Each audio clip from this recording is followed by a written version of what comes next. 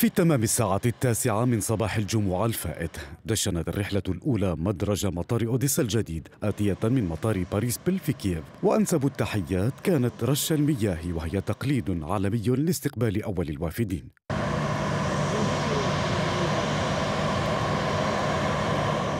استمر إنشاء المدرج الجديد قرابة ثلاث سنوات طوله ألف متر مع اثنين من ممرات الركاب ومهبط مصنوع من الخرسانة الثقيلة وهو مزود بنظام ملاحة حديث يتيح استقبال عدة طائرات من فئات مختلفة في جميع الظروف الجوية.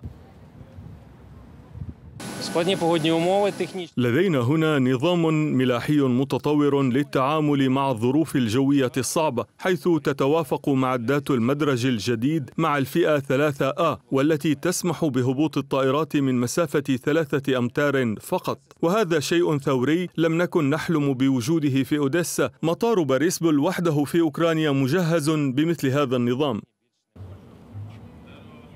تم إنفاق أكثر من ملياري هريفنا على جميع الأعمال الإنشائية وأهمها المهبط الجديد وبناء حظيرة فنية للطائرات Мы рассматриваем возможность, делаем экономические расчеты.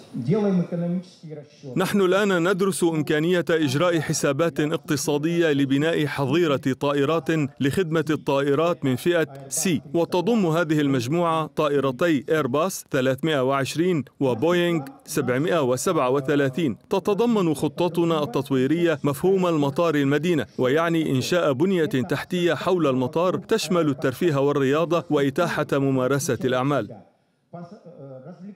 يقول أولئك الذين ينتظرون رحيلهم إلى المنتجعات الدولية إنهم سعداء لأن رحلاتهم ستبدأ الآن من المدرج الجديد.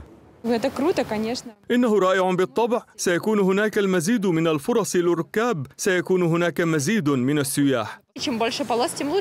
كلما زاد عدد الممرات والمدرجات كان ذلك أفضل. سيكون أكثر راحة وأكثر قدرة على استقبال مزيد من الطائرات. لذلك تعد هذه ميزة إضافية للركاب الأوكرانيين بما في ذلك الأجانب. من المتوقع أن يستقبل مطار أوديسا هذا العام مليوني مسافر وللسنوات الخمس المقبلة. وضعت خطط للتحديث والتطوير لزيادة حركة الركاب حتى أربعة ملايين شخص سنوياً.